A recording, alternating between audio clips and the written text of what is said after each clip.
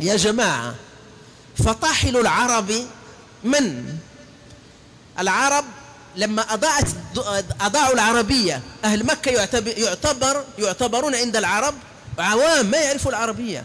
أهل مكة ذاك الزمان دخلت عليهم الأعاجيم فجعلوا ثلاثة أسواق لفلترة الكلام في موسم الحج. سوق عكاظ ومجنة وذي المجاز.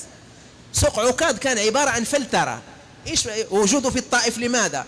أين أي الشعراء كلهم إذا دخلوا من طريق الطائف يمرون على عكاظ فيعرضون قصائدهم على من كان محكما في في في لغة العرب.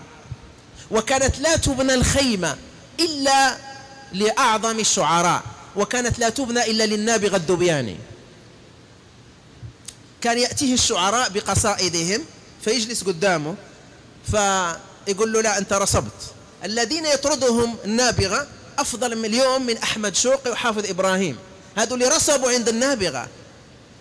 فلا يمر إلى الحجيج ويلقي قصائده إلا من كان متقنا لما فإذا قال شيئا غريبا علق كلامه على الكعبة.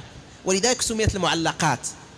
المعلقات العشر المعروفة بداية من امرئ القيس الملك وليس امرئ القيس بن آبان. الملك بن حجر ونهاية إلى زهير بن أبي سلمى وغيره من المتأخرين.